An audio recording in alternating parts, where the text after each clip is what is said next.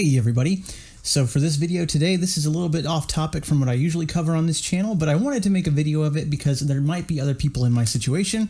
Because as you may know, due to current circumstances, it can be very difficult to get an HDMI capture card uh, through regular retail channels. So brands like your Elgato and such um, are out of stock in all the major retailers. And so this one I found very cheap on eBay.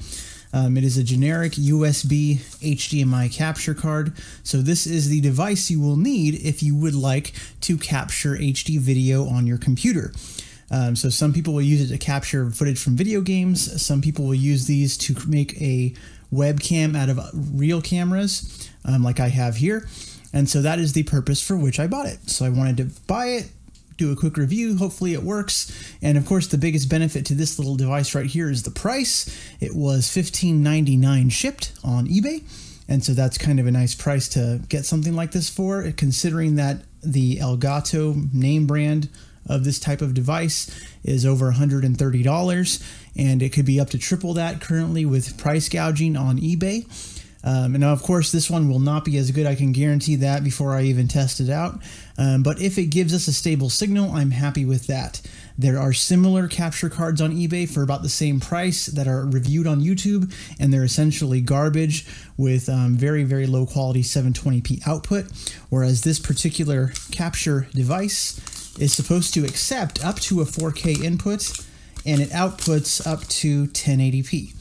And now it doesn't say 1080p 60, 1080p 30. Um, so we're going to find out today. And so hopefully these will work with what I have here.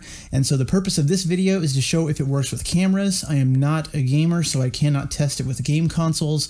So if uh, streaming on Twitch and that is your thing, this may or may not be a useful video for you, but let's just see the quality of video that comes out of this capture card.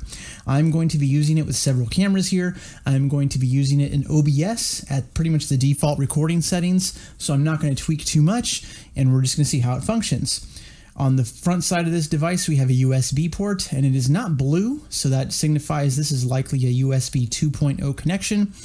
And I will be still plugging it into a USB 3.0 port, see if that helps any. Um, and of course, on the other side, there is the HDMI input, and there are no other ports on the device. And so in theory, we should be getting audio and video through this to your PC where you can capture it, stream it with the application of your choice. And so I will be testing it today with a few cameras here. I have a GoPro Hero 6. So this is the 6 Black, puts out a very beautiful 1080p 60 um, clean HDMI uh, feed. Um, I also have the Panasonic Lumix G7 right here. Um, also puts out a very nice HDMI feed at 1080p 60, I believe as well as the Canon camcorder. This is an older one, an HV30, but it also has HDMI output, and it's still very useful for capturing things um, in high resolution 1080p. Uh, so that works out very well. So we're going to test it with these cameras, see how it works, and um, again, bone stocks settings in OBS, and we will see how it functions. All right, let's try these out.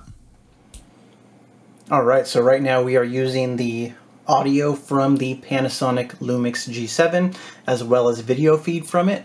Um, I'm just recording straight up in OBS. Uh, these are default settings. To me, the picture looks pretty darn crisp, so we're gonna have to see how it turns out. Um, but just getting some close-ups, we can see how the footage looks here, which to me, I think this looks pretty darn good, to be honest with you. Um, I am just pressing the button for autofocus on this lens.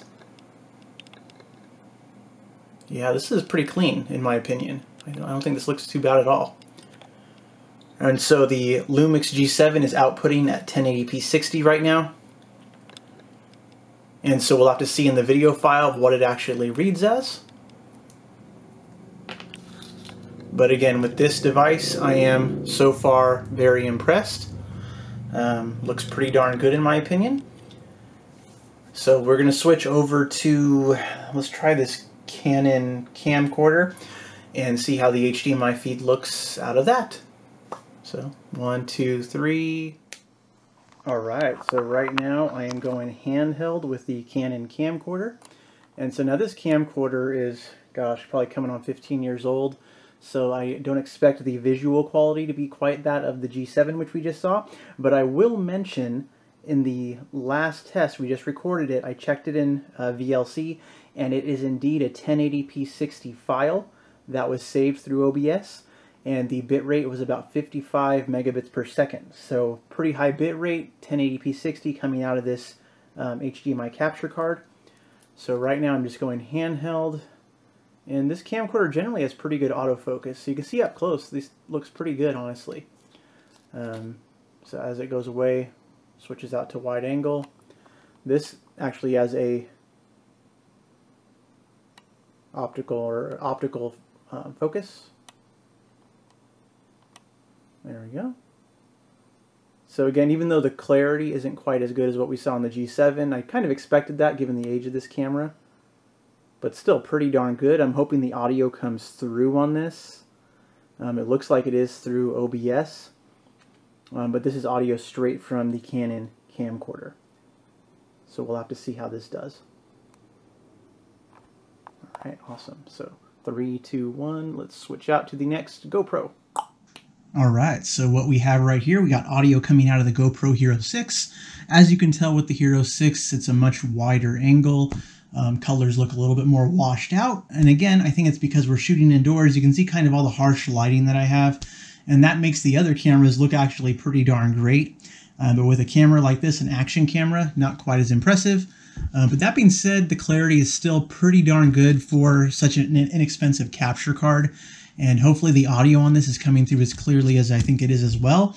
Um, so good news is we got 1080p 60 recordings out of the G7, 1080p 60 out of the Canon Vixia, and same thing with the GoPro Hero 6 right here. So pretty darn awesome. Um, so again, what I can't say is that whether or not this capture card is going to be very long lived. Um, generally, let me feel if it gets hot at all. Let me go reach over. Not feeling hot or anything, maybe a little bit warm plugged into the computer as it streams to OBS. Um, but that being said, for the price, doesn't seem so bad at all. So this is GoPro Hero 6 quality. Um, I'm pretty impressed for the price. So is this going to be as good as the higher end uh, capture cards out there? Probably not. Um, will this work with video game consoles? Probably to some degree. Can't guarantee it, but I think as a webcam replacement, I think this is a very good value option. So let me get back to my main setup and we can have some final thoughts. One, two, three. All right, so we're back. So to sum things up, I think honestly this is a pretty darn good value considering that it works at all. So for $15.99, um, this thing was outputting 1080p 60 video, which honestly for the price, I'm pretty darn impressed with that.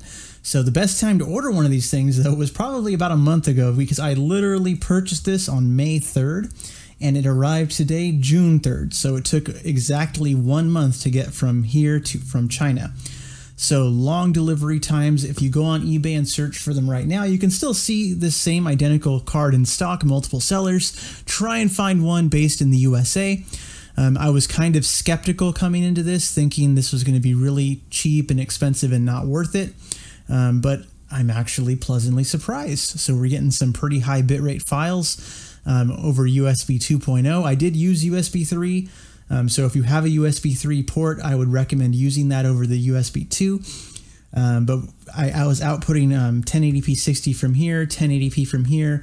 The GoPro was set to 2.7K output and input, and it was still outputting 1080p 60 files. So pretty interesting to talk about. Um, overall, I am impressed, so I like seeing that. So really interesting device. If you have any questions about what I have right here, um, feel free to leave a comment. Otherwise, just go to eBay, search 1080p HDMI capture, and you're going to see these devices probably all over the place. Seems like a relatively new product. Maybe it is. If you buy one and it doesn't work, be sure to leave a comment below. Let people know what you got here. Uh, but besides that, everyone have a great day. Bye bye.